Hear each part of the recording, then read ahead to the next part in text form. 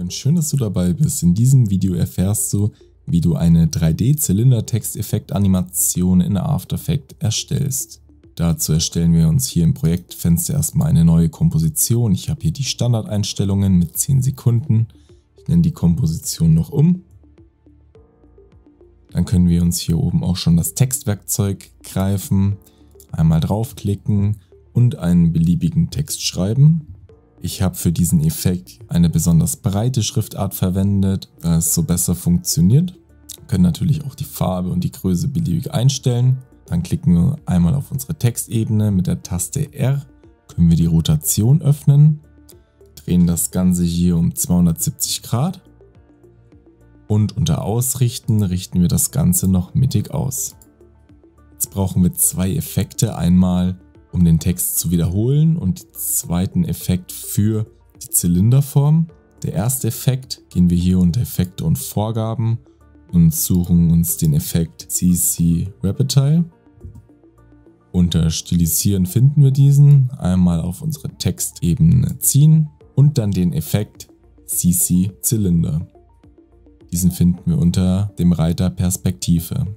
Auch wieder auf unseren Text ziehen, sind hier die beiden Effekte in unseren Effekteinstellungen. Der CC-Zylinder formt unseren Text dann zu einem Zylinder und mit CC Repetile können wir das Ganze expandieren. Einmal nach rechts und einmal nach links den Wert erhöhen.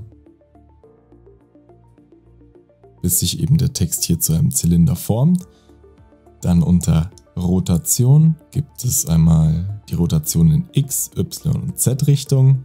Für die Rotation in die Z-Richtung gebe ich den Wert 90 ein und für die X-Richtung kann ich den Wert beliebig verstellen, wie ihr den Text eben haben wollt.